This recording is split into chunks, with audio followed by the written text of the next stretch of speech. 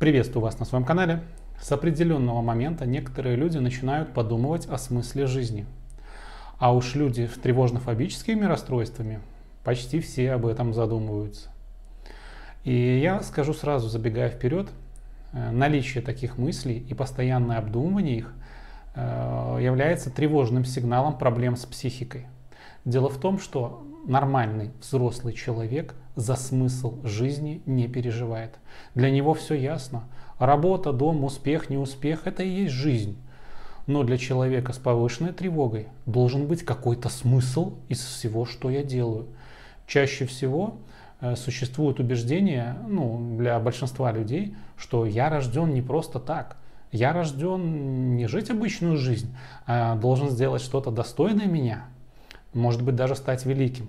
И до тех пор, пока это не произойдет, я буду, не буду спокоен. До определенного момента мы даже не думали о смысле жизни. У нас была занятость. Начиная со школы, мы всегда заняты. Учеба это ненавистная, правда же? Поступление, э, учеба в институтах, э, армия, э, первая работа, женитьба, замужество, дети, карьера, покупка дома, машины, э, переживания по поводу статуса в обществе, я должен стать кем-то, личностью и так далее. То есть мы находились в процессе постоянных достижений. И эти достижения, казалось бы, вроде бы и были смыслом нашей жизни, потому что мы себя не видели без того, зачем охотились. То есть каждый человек считал, что у него должно быть что-либо. Но получается такая история, когда мы либо этого достигаем, либо не достигаем, возникает проблема. Тот, кто достиг, не видит ничего дальше. Какой смысл? А тот, кто не достиг, просто сжигает себя переживаниями по поводу того, что я должен стать кем-то, а я им так и не стал. И эти переживания истощают ресурс человека, и он начинает замыкаться в себе в поисках этого пресловутого смысла жизни. То есть я не могу достичь чего-то, какой смысл тогда со всего? И здесь ситуация осложняется для людей с тревожно-фобическими расстройствами. Возникает тревога. Неважно, возможно, из-за недостижения этих и целей или из-за какой-то стрессовой ситуации. Возникает тревога. И эта тревога конечно же, сопровождаются различными страхами, симптомами, то есть болезнью. Да, это уже расстройство психики. И человек начинает лечиться. Лечится врачи, специалисты различного плана. То есть человек уходит в водоворот э, так называемого избавления от невроза.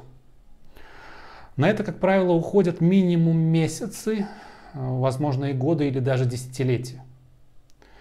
На протяжении этого времени данный тревожный человек находится в в постоянной борьбе, в постоянной борьбе над страхами и симптомами. И это обретает смысл.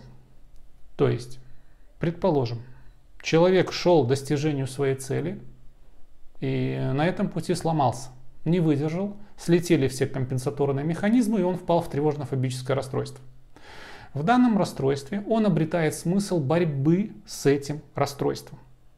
И когда борьба эта затягивается достаточно на год, да, на два, на три, это становится очень серьезной привычкой.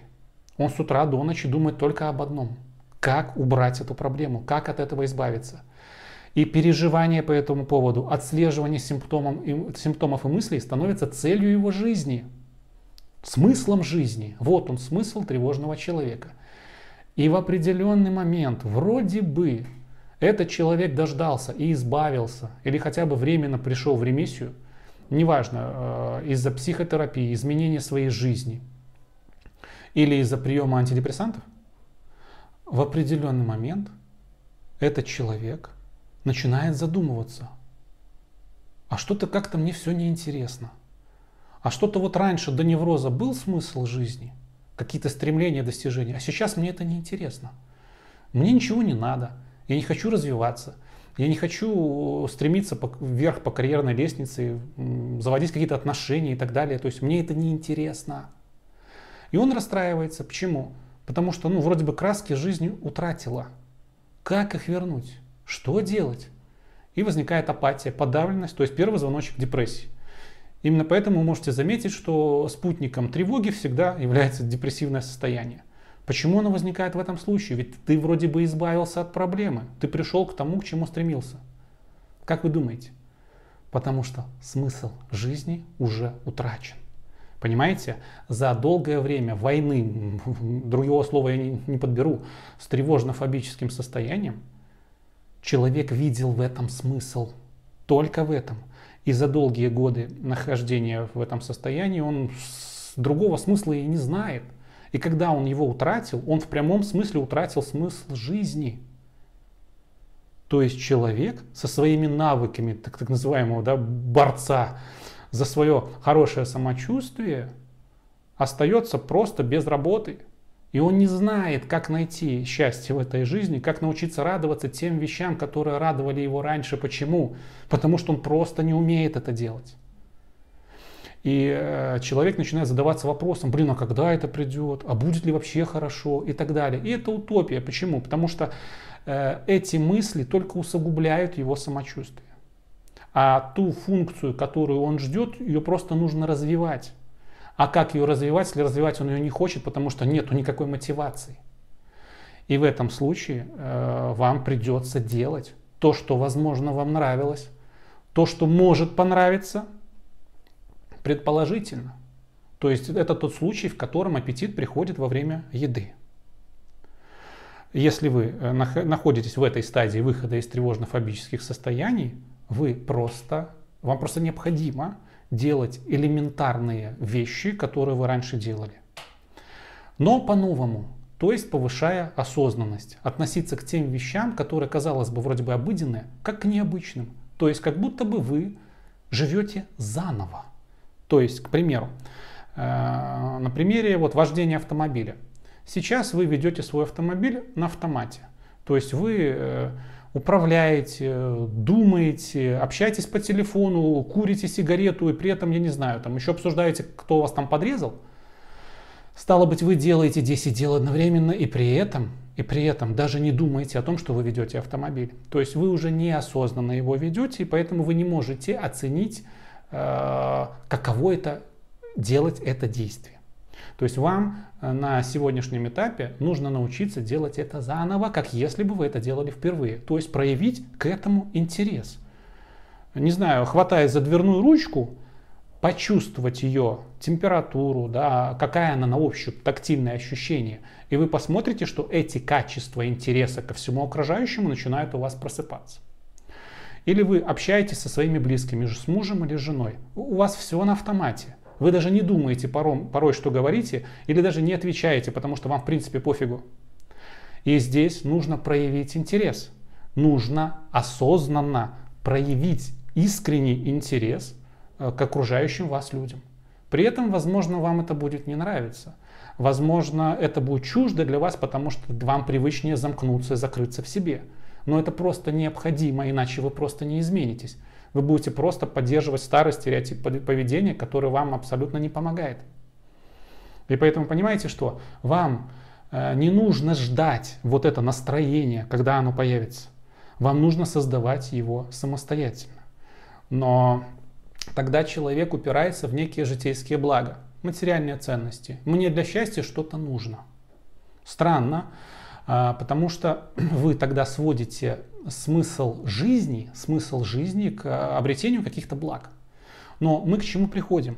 Что смысла жизни какого-то определенно глобального для всех нету. Смысл жизни как раз в том, чтобы жить и жить качественно, то есть получать максимальное удовольствие от жизни. Это не значит идти в путь деструктива, наркотики да, и так далее, там, аморальный образ жизни – это изменит ваше качество жизни в худшую сторону. А мы говорим о качестве жизни, качестве восприятия этой жизни. Но тогда вы скажете, ну у меня нет денег. Я хочу вкусить качество этой жизни, но я не могу без денег сделать это. Я не могу получить удовольствие от ржавого автомобиля, на котором езжу. Или не могу э, увидеть солнце, потому что я ни разу на юге-то не был. И у меня денег не будет, возможно, поехать туда. Да, поэтому ваш Смысл будет в том, чтобы найти смысл, находясь здесь. То есть нужно поставить себя в такую позицию, в которой вы просто вынуждены будете найти смысл жизни в том, что вы сейчас делаете. Ведь если мы определяем, что нет глобального смысла жизни, а он заключается только лишь в том, чтобы получить от этой жизни максимальное удовольствие, значит нужно сконцентрироваться на том, что вам доставляет удовольствие сейчас. А вы скажете, ну мне ничего не доставляет. Но я скажу, что вы не ищете это удовольствие. То есть вы не пытаетесь. Вы пьете свой кофе на автомате, вы кушаете еду, как утка. Хоп, заглотнул и дальше побежал. Вы не пытаетесь это почувствовать, потому что вы все время в, в таком сумасшедшем ритме живете. Приостановитесь немножко. Научитесь здесь и сейчас чувствовать эту жизнь, чувствовать общение с другими людьми. Ответьте себе следующее. Мне для счастья не нужно ничего достигать, по большому счету. Я могу стремиться, я могу стремиться к деньгам, я могу стремиться к э, статусу, да, места в обществе и так далее. Но это не есть смысл жизни. Смысл жизни, знаете, как определяется? Смысл жизни – это отрезок вашего времени, сколько вам отведено, который вы должны максимально забить маленькими смыслами жизни. То есть смысл жизни это не что-то глобальное, это что-то, что вы делаете каждый день чистите зубы, одеваете, одеваетесь, э, завтракаете, вы выходите на улицу, гуляете с собакой, встречаетесь с людьми, идете на работу. Это все и есть смысл жизни, просто вы должны каждому из этих действий относиться осознанно. Понимаете? То есть не надо думать, что достигну, достигну что-то, я э, поймаю тот смысл жизни, и мне будет жить интересно. Посмотрите на всех, кто достиг. Кто из них испытал счастье? Единицы. По большей части никто не счастлив. Кто э, все время считает, что для счастья ему что-то нужно. Потому что ты просто не умеешь быть счастливым. Что значит э, знаю, построить хороший дом, и я буду счастлив? Как это вообще связано? Ты здесь сидишь или ты в отличном доме сидишь? В чем разница? Ты и есть ты. Просто стены у тебя другие будут. Тебя будут доставлять удовольствие, э, что у тебя большой дом. Да, временно.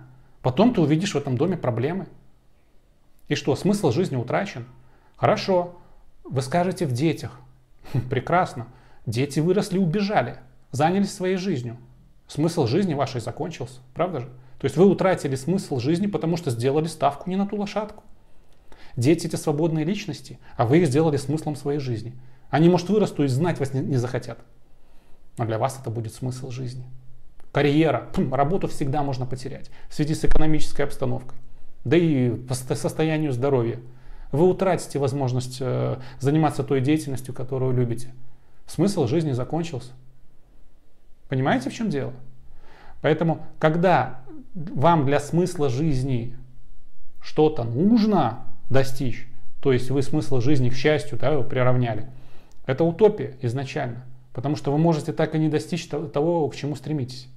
Но сам путь достижения этой цели и есть смысл, понимаете?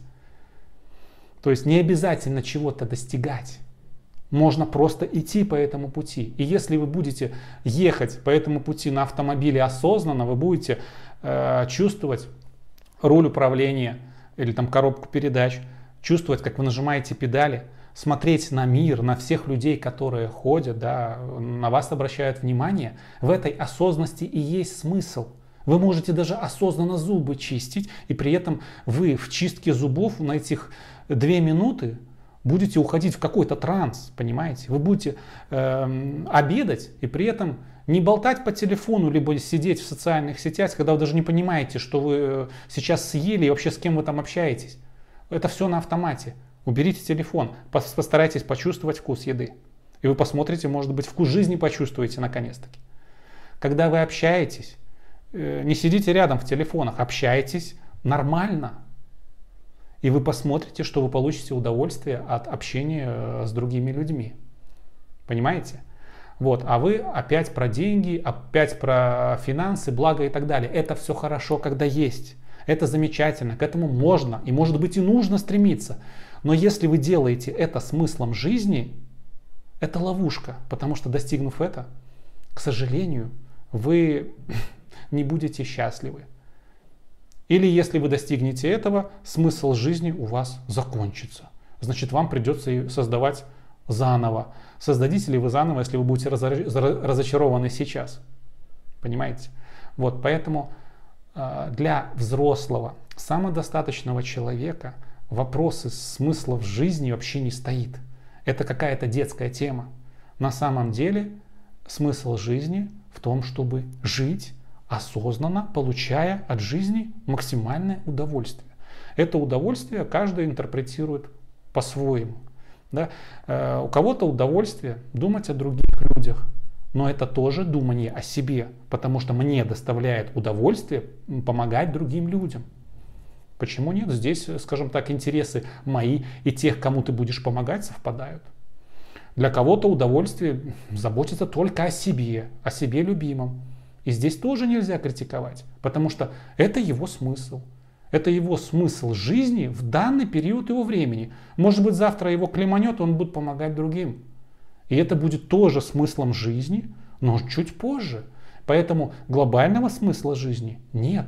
Есть много э, различных мелких смыслов, которые забивают весь ваш день и всю вашу жизнь.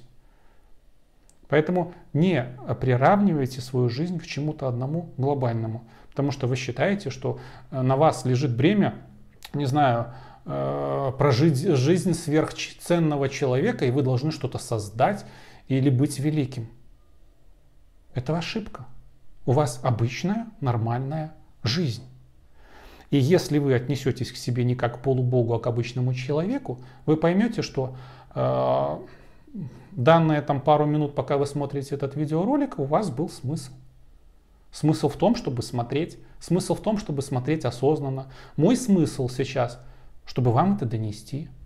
Сейчас я закончу и переключусь на другой смысл. И это тоже нормально. Нет ничего глобального, что вы должны сделать или не сделать. Поэтому успокойтесь. Смысл жизни кроется в каждой минуте, которую мы проживаем в настоящем времени. И поэтому я надеюсь, что некоторые из вас это поймут. Но в любом случае мое дело говорить, а ваше уже прислушиваться или нет. Бежать дальше э, в, в это колесо для белочки, либо подумать, переосмыслить и жить по-новому. Вы можете делать те же вещи, которые вы делаете сейчас, даже стремиться к тем же достижениям, но для того, чтобы э, просто к этому стремиться в данную минуту я могу стремиться даже к деньгам, зарабатывая их, но при этом это не является смыслом моей жизни, то есть конеч, конечной цели. А смысл в том, чтобы сейчас это делать, и мне это доставляет удовольствие. Вы поймете это, когда у вас будет какое-то достижение, на которое вы сделаете ставку, и вы посмотрите, что в конечном счете вы у разбитого корыта. И значит нужно будет новое достижение, а потом новое, потом новое. Вот, это ответ на вопрос. Достижений может быть много. Это и есть э, смысл жизни. Он не один, их много. Понимаете? Поэтому я надеюсь, что у вас все получится. Смотрите мой канал и до встречи в следующих видео. Пока-пока.